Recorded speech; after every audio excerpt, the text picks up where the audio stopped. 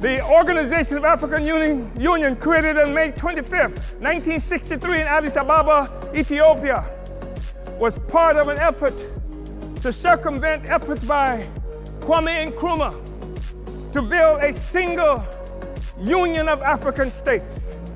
And instead, we come up with an Af Organization of African Union that codified the colonial borders that were created by, by Europe in 1884 and 85.